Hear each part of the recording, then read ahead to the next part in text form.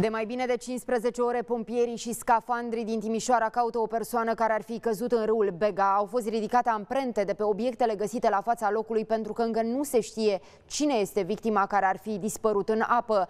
Andreea Borboros, colega mea corespondent Antena 3 CNN, este acolo la fața locului și ne spune ce se întâmplă în aceste momente. Te ascultăm. Andreea, cum decurg căutările?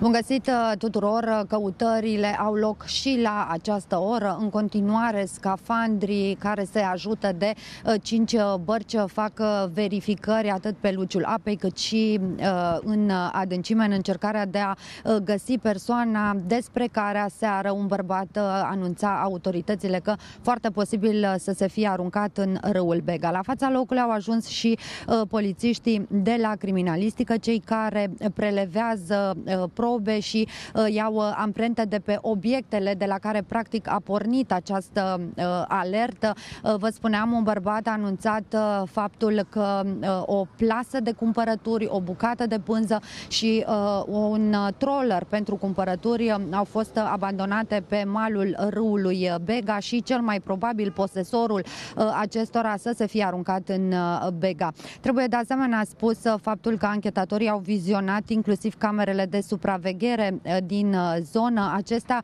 eh, surprind o siluetă care pare că s-ar fi aruncat în Bega, însă informațiile pe care le dețin la această oră sunt mult prea vagi. Totuși, dacă ipoteza aceasta se confirmă și vorbim într-adevăr de o persoană care s-a aruncat în apa de aici, din orașul de pe Bega, șansele ca aceasta să fie găsită de scafandri, să fie găsită în viață sunt aproape zero.